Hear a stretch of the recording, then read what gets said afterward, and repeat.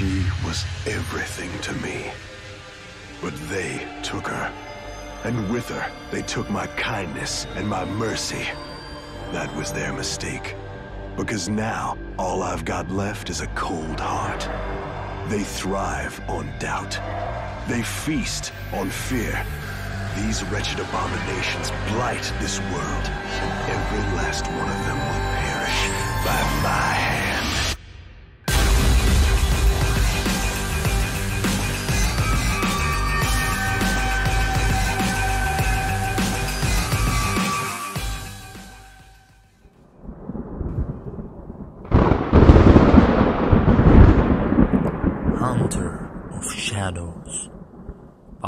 Anthony Reynolds.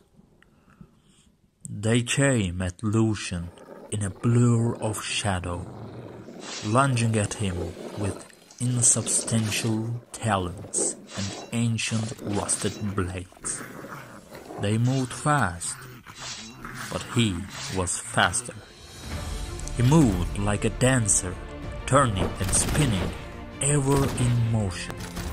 The relic pistols in his hands lighting up the rotting interior of the inn with their blazing arcane light. Lucian's long leather coat and tightly bound locks whipped around him as he moved, effortlessly avoiding the frenzied attacks coming at him from every direction. Every shot he fired burned with the intensity of the sun, banishing one of the screeching spirits, sending them reeling back into formless darkness. He took no satisfaction in this duty, not any more. All the light in his world had been snuffed out when she had been taken. Dark talons raked across one of Lucian's forearms, making him hiss in pain. Cursing himself for being momentarily distracted, he destroyed the offending spirit with a blast of light to its head, and focused upon the task at hand. Standing firm in the center of the inn, he gunned down the tide of spectral force rushing at him every shot lighting up the darkness.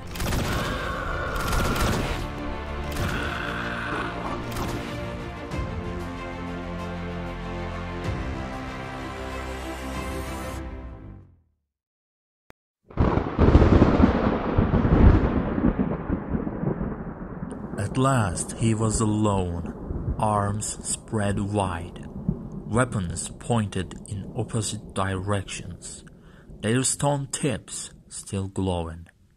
He glanced left and right, awaiting another attack. The fire in the inn's hearth seemed to burn more brightly, banishing the deeper shadows, and the icy chill retreated. Suddenly weary, Lucian righted a fallen bench and sat with a groan. Placed his pistols upon the table, then turned his attention to his wound. Wincing, he slid the long black glove from his left hand. The leather was unmarked, but the flesh of his forearm was blackened, where ghostly talons had slashed him, almost like frostbite. He caught a flicker of movement in the corner of his eye, and Lucian was instantly on his feet, both pistols aimed at a dark-haired girl, barely into her teenage years, who had emerged from her hiding place in a back storeroom. She froze, staring up at him, eyes wide and unblinking. Please, she whispered. Don't. Shouldn't sneak up on people, Lucian said, lowering his guns. He made to turn away, but caught a shadow of movement reflected in the girl's eyes. He spun, swinging his weapons around, but this time he was not fast enough.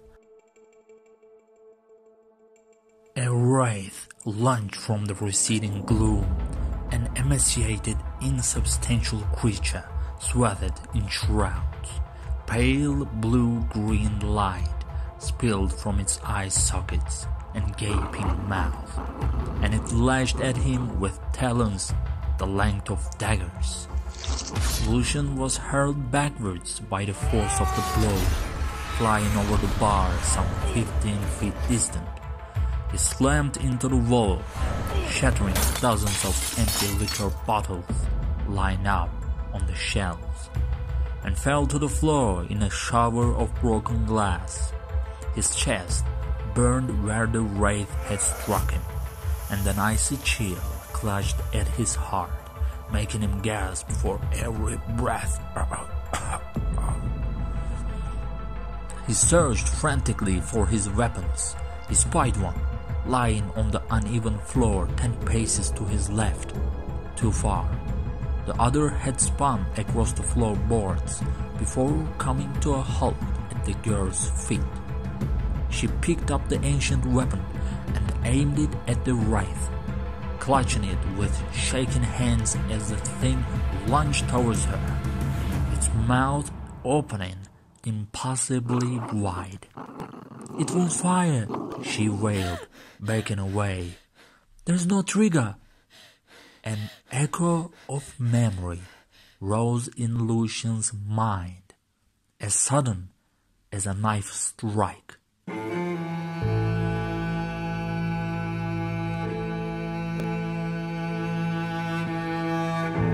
how do you fire it? Lucian said, looking down at the exquisitely crafted weapon, a look of puzzlement on his face. There is no trigger. It doesn't need a trigger, my love, said Senna, her eyes glinting with amusement. She touched him lightly on the side of his head. The trigger is in here. I don't understand, said Lucian. Senna aimed her own weapon, a more elegant version of the one he held. At the target twenty feet away, her expression hardened, her eyes narrowing. You have to will it to fire, she said.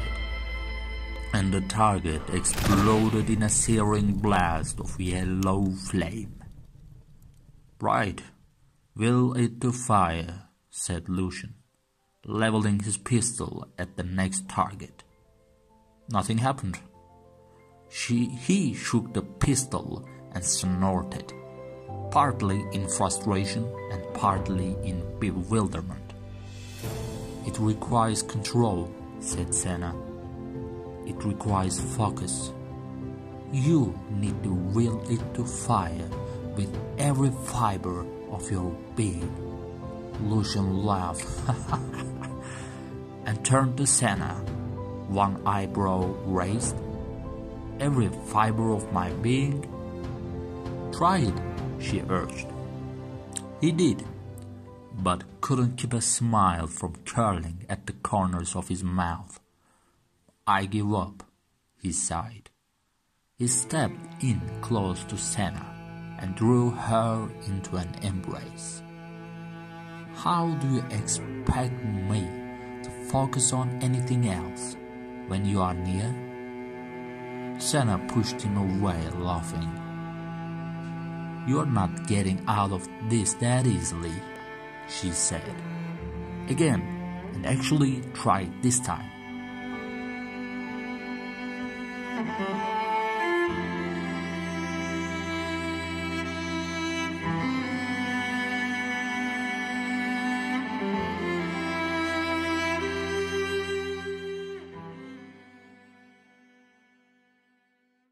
Girl was backed up against the wall now, the slender relic gun, Senna's gun, a useless weight in her hands. Throw it to me, Lucian barked, darting forward. The girl shrieked, as the spirit flew toward her and hurled the gun in Lucian's direction. It spun end over end through the air, passing straight through the wraith. Lucian deftly caught it in mid-sprint, simultaneously dropping to one knee and sliding across the floorboards to scoop up his other weapon. He came to his feet with both pistols ready and opened up. The wraith screamed and tried desperately to escape, coiling and spinning through the air away from him. But Lucian was relentless. He dashed sideways, maintaining his driving torrent of fire. The blazing light tore through the ghastly apparition, and its cry became piteous as its dark form dissipated, like mist beneath the rising sun. Lucian came to a halt, though he kept the pistols raised. All was silent once more. Is it gone? The girl said. He didn't answer immediately, his narrowed eyes scanning the room. At last, he holstered the two guns. It's gone, you are safe. I. I couldn't make it fire, the girl said, staring at the darkness. I thought I, I was going to die like the others. Lucian remembered his own difficulty with the weapon. It felt so long ago now.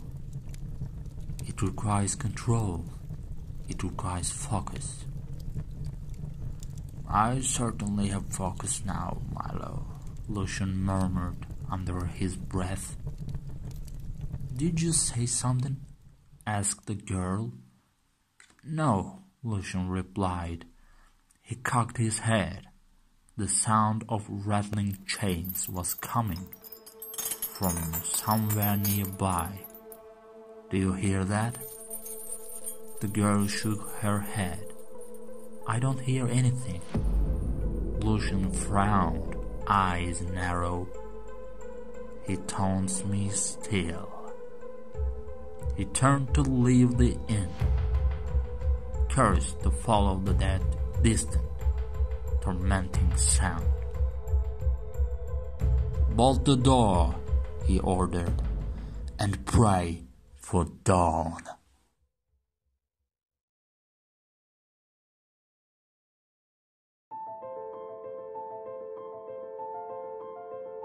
Lunge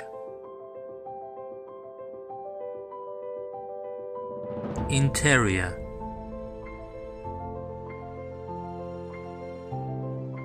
rattle.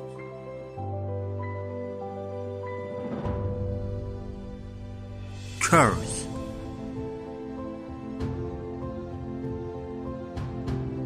Hearth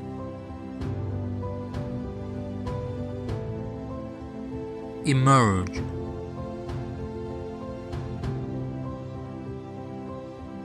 Wail